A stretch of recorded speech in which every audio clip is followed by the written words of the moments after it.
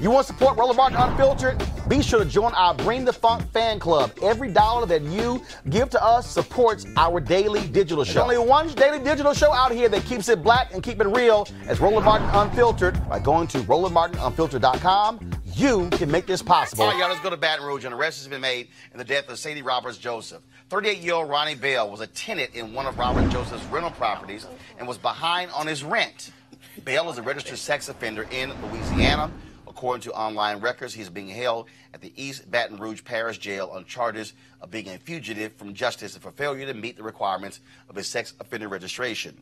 Bell will be charged with first degree murder in the death of Roberts Joseph. You recall she was found in the trunk of a car last Friday. A Louisiana coroner ruled her cause of death a homicide due to traumatic asphyxia, including suffocation. So we certainly keep you abreast of what's going on in that case. All right, folks, back to that Roland Unfiltered video in just one Um, moment. let's talk about, uh, of course, my folks at uh, 420 Real Estate. Of course, they're back. MarijuanaStock.org has another uh, great investment opportunity. If you were lucky enough the last time to invest in their last crowdfunding campaign, you know they raised a ton of money in just a few months uh, investing in legal marijuana farms. Those initial investors now own shares of a publicly traded company.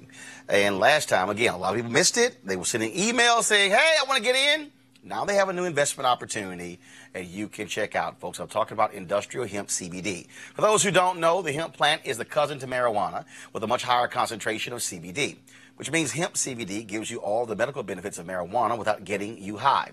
Until recently, hemp farming was practically illegal in the United States and heavily regulated by the DEA. However, the 2018 Farm Bill uh, that was passed makes it legal to grow hemp CBD in the U.S., creating one of the largest commodities worldwide. They need land to grow in all of the plants. This makes for an incredible investment opportunity. And that's where our good friends at 420 Real Estate come in. Their business model is real simple. They buy land that supports hemp CBD grow operations and lease it to licensed high paying tenants. That's right, they are hemp CBD landlords, and you can get in on the action. You can invest in this crowdfunding campaign for as little as 200 bucks up to $10,000. All you got to do is go to marijuanastock.org. That's marijuanastock.org to get in the game and get in the game now. Now back to your Roland Martin Unfiltered video.